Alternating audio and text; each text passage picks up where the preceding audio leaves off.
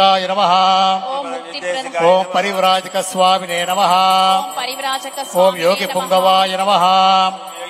ॐ सतन्तरङ्गनिलयाय नमः। ॐ मगलिचर्लवासिने नमः। ॐ प्रह्लादाय नमः। ओकोटिचन्दसमप्रभाय नमः। ॐ ब्रह्मचारिणे नमः।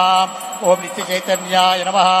ॐ विमर्दन्तकन्दर्पाय नमः ॐ कोटितीर्थाय नमः ॐ आनन्दवर्धनाय नमः ॐ घराघरजटाय नमः ॐ दिग्वसनाय नमः ॐ दिव्यबोधकाय नमः ॐ दत्तगुरवे नमः ॐ मौनव्याख्यासमलुष्टाय नमः ॐ ज्ञानस्वरूपाय नमः ॐ सुवर्णदत्तलक्ष्मीदासदीक्षाधाराय नमः ॐ माल्याय नमः ॐ चेवूरिवासाय नमः ओ समाधिस्थिताय नमः ओ स्थनतत्त्वसुराय नमः ओ भवबन्धविमोचनाय नमः ओं सङ्कल्पमात्रक्लेशनिवारणाय नमः ओ कृतज्ञाय नमः ओम श्रीरामदूतस्वामि प्रियाय नमः ओम् श्रीमात्रे नमः ओ कोटिकन्दर्पलावण्याय नमः ओ कुमारिकाय नमः ओम् भावगम्याय नमः ओ परब्रह्मात्मिकाय नमः ओ निरूपाधिकाय नमः ओ गोलकविलासन्ये नमः ओम् चितचन्द्रप्रभाय नमः ॐ धर्मः नमः। हि वनस्पतिस्तव वृक्षोदविन्वः। तस्य फलानि तपसानुगन्तु मायान्तरायास्य भाग्य अलक्ष्मेः। उपैतु माम् देव सख कीर्तिश्च मणिना सहतोऽस्मिस्मि कीर्तिवृद्धिम् ओम् याम्यहम् अभोतिमसमृद्धिम् सर्वान् इन्दुदने गृहात्। नन्दद्वारा दुरादर्शाम् च पुष्टात् तरीषिणे ईश्वरेकम् सर्वभूतानाम् तारिहोपह्वये श्रियम्।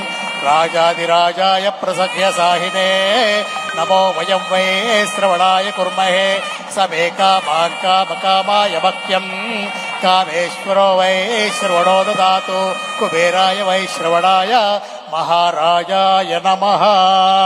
ఇప్పుడందరూ కూడా చంద్రబాబు నాయుడు గారిని అందరూ చేతి లేచి నుంచోండి. చేతులు ఇట్లా పెట్టిన ఆశీర్వచనం ఇవ్వాలి మనం అందరం కూడా.